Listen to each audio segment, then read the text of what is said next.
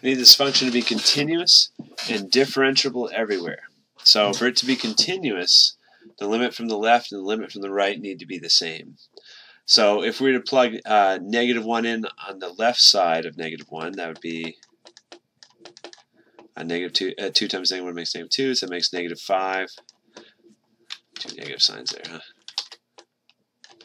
And on the right side, you plug in negative 1 for the right side, that's going to be 5 minus a plus b.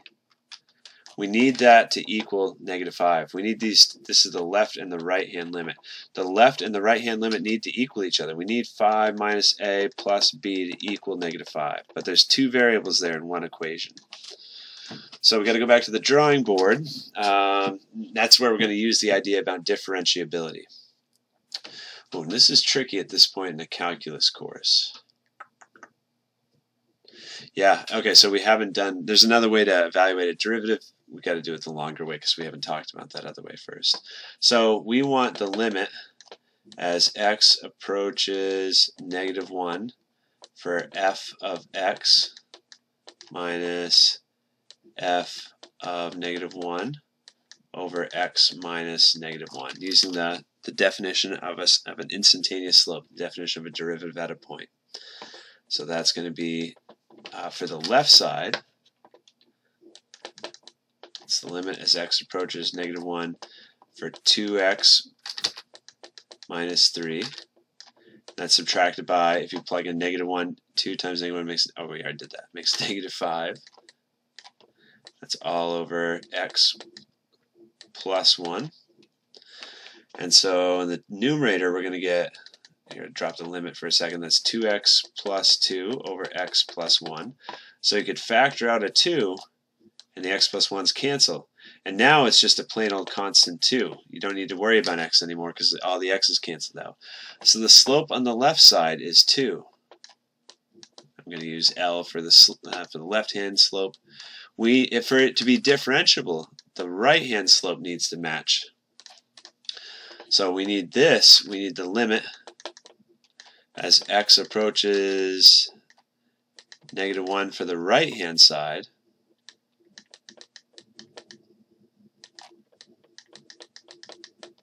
there's our f of x part. Now we need to subtract it by f of negative 1, uh, which is a little complicated because we saw when we plugged in negative 1 we get this, 5 minus a plus b. It's all being divided by f of x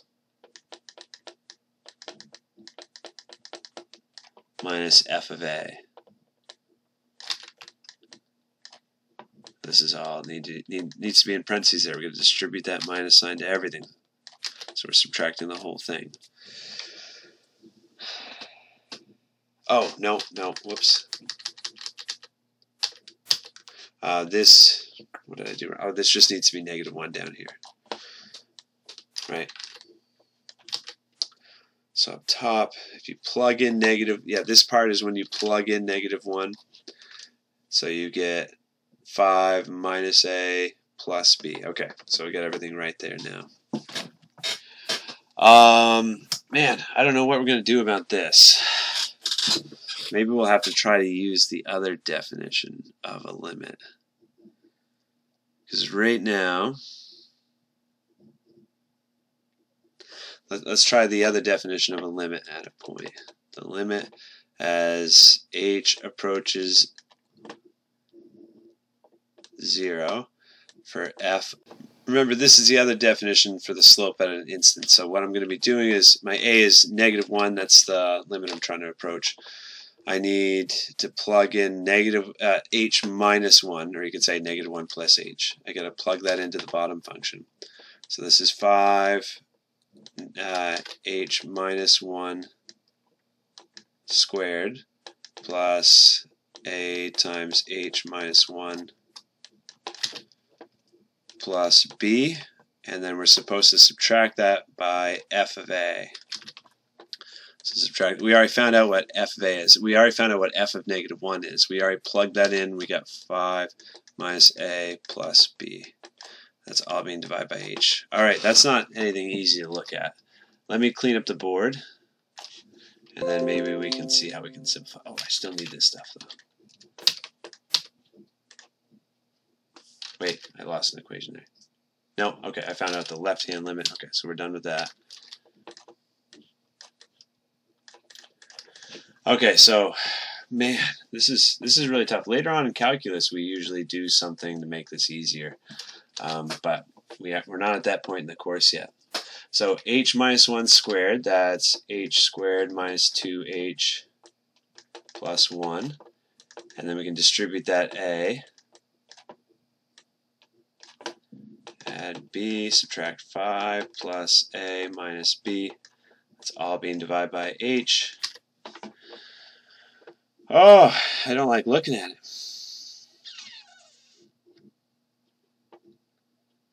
This A and this A can cancel. This B and this B can cancel.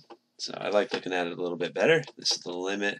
As h approaches 0. If I distribute the 5, that's 5h squared minus 10h plus 5 plus ah. Oh, so the plus 5 and the minus 5 are going to cancel. So we can cancel that out right now. Look, you can factor out an h. Even though this is looking pretty complicated, you can factor out an h from everything in the numerator.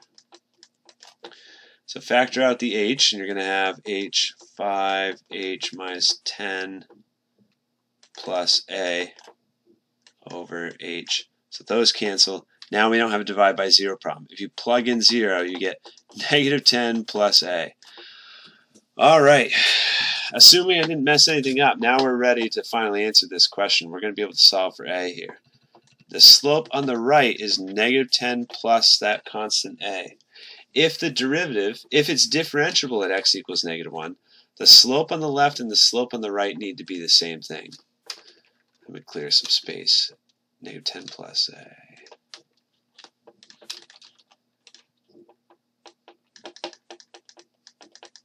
So these two things need to equal each other. We got the left hand slope and the right hand slope.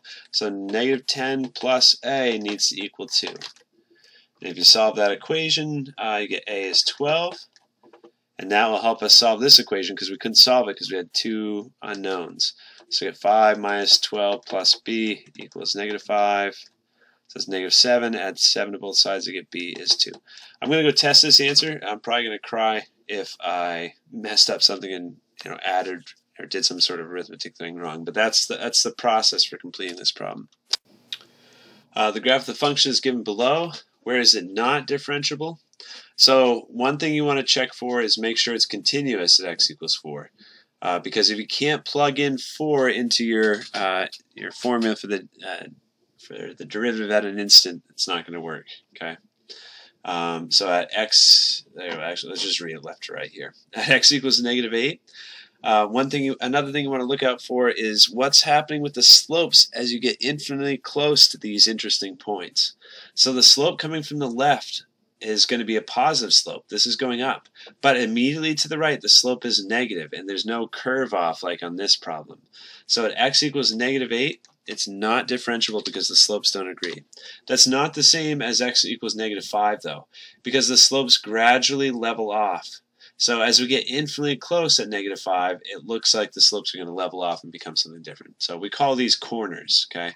And we can't, we don't have differentiability at corners where it sharply turns directions without any leveling off because the slopes don't match on the left and the right. At x equals 4, it's not even defined. So, I mean, it is defined, but um, if you're to plug in 4, I don't, that's kind of a tricky one. At x equals 4,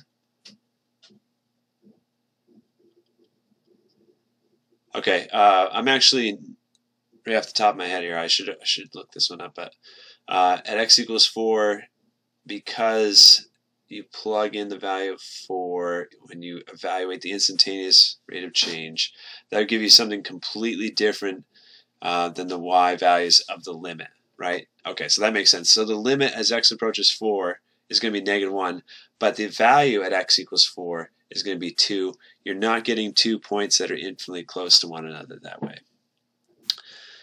I think that's it uh, for differentiability. Where is it discontinuous? It's not discontinuous at x equals negative 8. The limit as you approach negative 8 is negative 1. The exact value is negative 1. It's continuous there. It's continuous here for the same reason. Remember, we were analyzing the slopes when we were thinking about differentiability. The slopes were opposite. The exact value negative 2, um, that, those limits do exist. But how about at x equals 4, right? It's discontinuous because the limit and the exact value do not agree at x equals 4.